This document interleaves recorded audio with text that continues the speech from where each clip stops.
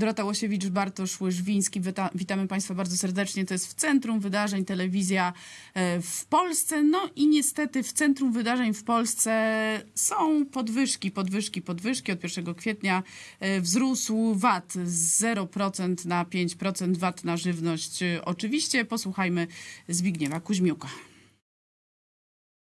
15 miliardów e, złotych przez pół roku zostanie pobrane z kieszeni gospodarstw domowych e, i m, od przedsiębiorców. To olbrzymia kwota e, i to oznacza ogromne podwyżki cen zarówno dla osób fizycznych, jak i przedsiębiorców. Proszę Państwa, trzeba zwrócić przy tym uwagę, że energia jest przecież składnikiem kosztów każdego produktu i każdej e, usługi. E, W związku z tym, jeżeli będą e, tego rodzaju po- podwyżki cen, o których mówi pan e, poseł Buda, to oznacza ogromne podwyżki cen wszystkiego i rzeczywiście to przewiduje także Narodowy Bank Polski, mówiąc o bardzo wyraźnym e, skoku inflacyjnym. A 100 konkretów Donalda Tuska na 100 dni miało sprawić, że będzie w Polsce lepiej, taniej, a przede wszystkim, że nastąpi to wszystko szybko. No ale jak się okazało, machina chyba się zacięła wbrew wcześniejszym deklaracjom autora tego projektu. Niczego nie obiecuję. Nie, znacie mnie trochę, znaczy nie, mi przez gardło nie przejdzie coś, co później się okazuje pustą obietnicą. Okej, czasami się spóźnię, ale na pewno nie, nie, będę, nie będę pustych obietnic tu formułował. A bardzo wielu ludzi każdy dzień, każdy tydzień zwłoki jest y, niebezpieczny z punktu widzenia ich życia. Te 100 dni, te 100 konkretów doprowadzą do tego, że ludzie w Polsce będą mieli więcej w kieszeni, będzie taniej w polskich sklepach i będzie lepiej w każdym polskim domu. Jak to inaczej było w kampanii parlamentarnej, jak teraz y, co innego Donald Tusk już mówi, kiedy został y, premierem. Podobno nie składa pustych obietnic. Mm, My mamy na ten temat trochę y, inne zdanie. Rolnicy zdaje się też mają inne zdanie. Na przykład Sławomir Izdebski z OPZZ, który zapowiadał dzisiejsze protesty rolnicze, które będą wyglądały inaczej niż do tej pory. Rolnicy pojawią się pod biurami posłów i senatorów. Niektórym przywiozą cuchnące niespodzianki. Rolnicy, e, nie tylko zrzeszeni w rolniczym OPZZ, ale również i rolnicy indywidualni e, będą e, spontanicznie odwiedzać biura posłów, senatorów. Nie jest to cios jakiś wymierzony przeciwko polskiemu rządowi, ale chcemy, żeby nasi rolnicy tam właśnie na dole bezpośrednio spotkali się z posłami, żeby wytłumaczyli, na czym polega problem rolnictwa, bo bardzo, bardzo często politycy w środkach masowego przekazu przekręcają e, tą rzeczywistość.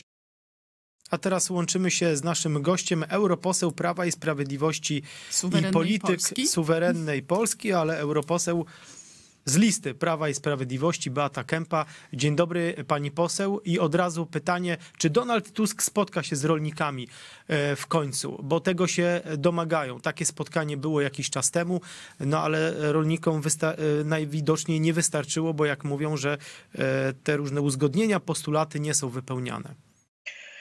Dzień dobry, witam Państwa serdecznie e, z Brukseli. Otóż, Panie redaktorze, na Pańskie pytanie odpowiem tak. Donald Tusk nie spotka się z rolnikami, jestem tego pewna. E, Na pewno tego nie zrobi w najbliższym czasie. On liczy na to, że ten proces, e, protest się po pierwsze rozmyje, że teraz są prace polowe, te wiosenne, bardzo intensywne. Wielu, wielu rolników bardzo, bardzo ciężko pracuje. Część z ich kolegów e, rotacyjnie e, e, domaga się oczywiście na protestach praw, które są słuszne z punktu widzenia i ich e, bezpieczeństwa ekonomicznego, ale też naszego bezpieczeństwa żywnościowego. Część protestuje nadal, na przykład na, na drodze S3, o czym nie mówi się w żadnych e, tak zwanych publicznych mediach. E, Ten protest się odbywa. Ja oczywiście, żeby było jasne, go popieram. To także widać, że całe działania władzy i tej otoczki wspierającej medialnej idzie w tym kierunku, żeby ten protest rozwyć, a rolników po prostu podzielić. Już nawet takie komunikaty widzimy, że rolnicy w tej sprawie są podzieleni. Jedni rzekome porozumienie podpisali, które jest w zasadzie pustym porozumieniem, kolejnym stekiem pustym, pustych obietnic. Inni z kolei no, uważają, że rzeczywiście zostali bardzo mocno oszukani. Je, jeśli znamy Donalda Tuska, to wiemy, że on po prostu na tą konfrontację z rolnikami nie pójdzie. Zdaje się, że nie chce też iść na konfrontację z ministrem Siekierskim, bo jak słyszeliśmy, Donald Tusk nie odbiera telefonu od ministra Siekierskiego. Czy minister Siekierski będzie kozłem ofiarnym Donalda Tuska? Donald Tusk przede wszystkim nie lubi kłopotów. Tak jak nie lubi pracy, tak mocno nie lubi kłopotów, które mogą być jego osobistymi kłopotami, które sobie tak naprawdę poprzez, tego, poprzez to, że przewodniczył kiedyś takiej rodzinie politycznej, mówię tutaj o IPP, która jednak skrzętnie popierała ten zielony ład, a nawet nadal mu sekunduje. Na razie robią takie uniki, troszeczkę mówią o tym oczywiście, że robią krok w tył, co krokiem w tył. Absolutnie nie jest, to jest taka zasłona dymna przed wyborami, które odbędą się 9 czerwca do Parlamentu Europejskiego. Ale wracając do tego człowieka, no oczywiście, że tak, no, kozłem ofiarnym może stać się Siekierski. Wszystko zależy od tego, jak będzie broniony przez koalicjantów, czy będzie wygenerowany spór. Tego nie wiemy, dlatego że Kośniak-Kamysz jest bardzo mocno uzależniony od Donalda Tuska i będzie w stanie pewnie poświęcić każdego. Problem jest bardzo duży, przepotężny. Problem jest przede wszystkim teraz w Polsce i na nim się skupiamy, ale też w wielu innych krajach Unii Europejskiej. Podobnie rolnicy buntują się przeciwko Zielonemu Ładowi. Mieliśmy kolejną demonstrację tutaj w Brukseli i bodaj wczoraj czy przedwczoraj, nie wiem, w Krakowie widziałam takie przekazy, bo oczywiście nie jestem fanką Tuska, nie oglądam jego, jego krótko mówiąc, płomiennych w cudzysłowie przemów do swojego elektoratu, kiedy mówił, że jeździ, załatwia i naprawdę jest tak strasznie zapracowany, gdzie uśmiałam się, naprawdę dawno takiej komedii nie widziałam. Po prostu nie robi nic i bierze, bierze rolników na, na przeczekanie, a kozem ofiarnym pewnie będzie któryś z ministrów. Mówi się też o tym, że chce uczynić ministrem Kołodziejczaka, więc takie również tutaj słuchy chodzą. No więc może być przeciekawie, tyle tylko, że szanowni państwo, jest to ze szkodą dla nas wszystkich i ze szkodą. Trzeba też wiedzieć, że jesteśmy krajem naprawdę przyfrontowym i że jest, przygląda się tej sytuacji również Putin. Ja jestem daleko od straszenia wojną, bo to w tej chwili robi Tusk, no nie mając nic do zaoferowania.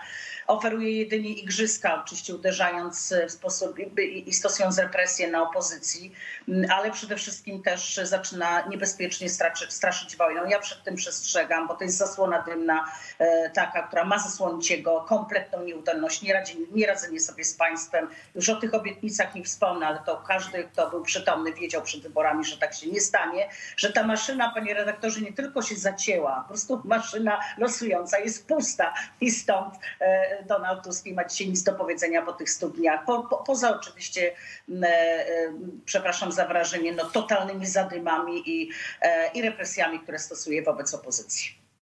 A czy Donald Tusk, Pani zdaniem, jest zakładnikiem polityki europejskiej? Na ile on jest samodzielnym politykiem? Tutaj mam na myśli kontekst rozmów z rolnikami. On nie jest samodzielnym i nigdy nie był samodzielnym politykiem. Donald Tusk zawsze był uzależniony od tego, co powiedzą Niemcy bądź Rosjanie. I to było widać wielokrotnie. Państwo, również dziennikarze, przedstawialiście to chociażby w takich programach, które skrzętnie natychmiast usunięto w telewizji publicznej, jak Reset. Jeśli idzie o Unię Europejską, on ma bardzo konkretny plan, tak, przynajmniej ja tak uważam, to jest moje oczywiście prywatne zdanie, mam do niego prawo. Mianowicie będzie starał się, bo to widać też po tym, co w tej chwili czyni wobec swoich wewnętrznych konkurentów, takich jak Trzaskowski czy jak Hołownia, mianowicie będzie starał się ubiegać o miejsce w Komisji Europejskiej. Prawdopodobnie e, być może celuje również w, w stanowisko szefa, bo ono jest bardzo wysoko płatne. Donald Tusk o tym doskonale wie. Mm, I potem e, chce wrócić do takiego projektu pod tytułem e, Donald Tusk jako kandydat na prezydenta Rzeczpospolitej Polskiej. On po prostu nie przepracował w sobie, w swojej psychice własnej potężną porażkę, którą odniósł w 2005 roku, przegrywając z panem e, prezydentem, świętej pamięci panem prezydentem Lechem Kaczyńskim i teraz też przegrywając te wybory, bo tą całą zadymę, którą robi, ona ma zakryć tą jego nieudolność, przecież te wybory de facto, jeśli idzie o liczby bezwzględne, Donald Tusk przegrał. E, I, e, i taki będzie jego polityczny plan. Ja przed tym przestrzegam, bo nie wyobrażam sobie człowieka, który nic nie potrafi, który nie potrafi nawet jednej trzeciej złożonych obietnic zrealizować w stosownym terminie, który proponuje dla naszych dzieci e, w, tym, w ciągu tych 100 dni, to ja niczym innym nie słyszałam, jak tylko e, o pigułce dzień po, czyli nie wiem, dzieci mają nosić e, jak dropsy te pigułki, tak, i, i, i w ten sposób oddziaływać na, też na, na dziewczynki poniżej 18 roku życia takim właśnie, można powiedzieć, lekiem hormonalnym. Już dzisiaj lekarze mówią, jakie to może wywrzeć skutki. To jest jego właściwie w tej chwili jedyny, jedyny cel. Pani poseł, bo pani to, powiedziała o tej maszynie. Na raka, to go nie interesuje. Pani poseł, pani powiedziała o tej maszynie, że się zacięła i że jest pusta, ale w dalszym ciągu ta maszyna e, rozpędza się, jest nakierowana na na zemstę. Na represję, tak jak pani Na represję mówiła. wobec opozycji. Mhm. Także mieliśmy to do czynienia z tym w przypadku Zbigniewa Ziobry, który dla telewizji w Polsce mówił o tym, że to jest zapowiedź zemsty nie tylko na nim, ale także na jego rodzinie. Jak zobaczmy, jak te represje, te zobaczmy, jak te represje wyglądały. Nim pani minister odpowie, zobaczmy, jak te represje wyglądały. Michał Karnowski był w domu Zbigniewa e, Ziobry. Zobaczmy, jak wygląda sejf Zbigniewa Ziobry po najściu ABW. Rozpruty Sejm.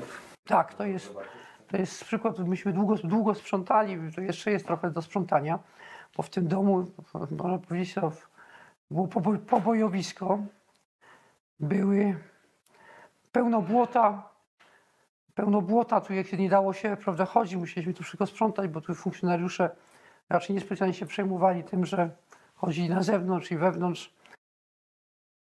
A to dopiero chyba początek. Tak, jesteśmy świadomi tego, że to jest początek represji. Ja pamiętam rok 2007, pamiętam jak y, byliśmy, przepraszam za wrażenie, wleczeni po różnych y, prokuraturach i jak te represje wyglądały. Teraz one jeszcze są bardziej brutalne. Donald Tusk y, chyba najbardziej cieszył się, że otrzymał te zabawki, które teraz będzie wykorzystywał. Próba niszczenia opozycji, szczególnie tych, którzy są bardzo silni po prawej stronie sceny politycznej, są silni w mediach społecznościowych. To wszystko jest dla tego człowieka do zniszczenia. Zresztą on podobno według tego, e, co mówił pan minister Ziobro, odgrażał się w, pewnym środowisku, swoim środowisku. My również tutaj słyszymy na korytarzach brukselskich, że jedynym jego celem jest, jest zemsta. To jest oczywiście skrajnie prymitywne ale czegoś się po tym człowieku spodziewać, jeżeli on mm, e, pozwala na to, żeby w Wielkim Tygodniu, w dniu jakim jest Wielki Czwartek dla wszystkich kapłanów, wlecze kapłana przed oblicze prokuratora, przed oblicze sądu za nic, za to, że chciał pomagać e, ofiarom bardzo, bardzo ciężkich e, przestępstw. I myślę, że tutaj Donald Tusk oczywiście zdaje sprawę z tego i z tego, co czytaliśmy w mediach, że odpowie za to, odpowie za sprawstwo kierownicze w tej sprawie, odpowie również e, momencie, kiedy zaczął się już w jakiś tam określony sposób bardzo jeszcze nieśmiało stawiać, mówię tak politycznie, Hołownia. To przypomniał mu, co Hołownia podpisał, już tak naprawdę już z tej samej politycznej e, szajce. Więc e, tak będę mówić, szanowni państwo, nawet jeżeli będą mnie również szykanować, jestem na to gotowa, mm, ale muszę państwu powiedzieć, że sprawy państwa w ten sposób nie będą szły w należytym kierunku. Oni nas nie złamią, żeby było jasne. Oni nas E, nie złamią, ale prawdą jest, że niebezpieczni ludzie dzisiaj mm, poprzez to, że mm, tak naprawdę poprzez to działanie tak jak też pan minister Ziobro o tym e, mówił, e, kwestia mafii VAT-owskich, mafii lekowych, mafii paliwowych, wszystkich tych mafii, które udało się mm, panu ministrowi, całej grupie e, ciężko pracujących osób zdławić. Dzisiaj one e, tak naprawdę e, jakby no, cieszą się e, I tu musimy i, postawić i myślę, że tak to będzie owładnie. Dlatego nie ma pieniędzy w kasie, panie redaktor. Dlatego nie ma pieniędzy. Dlatego on Tak, bo musi wszystko ściągać te wróciło. z Stawiamy kropkę. Niestety pani minister czas nam się skończył. Eurodeputowana suwerennej Polski Beata Kępa była naszym gościem, a my wracamy do państwa za kilka chwil.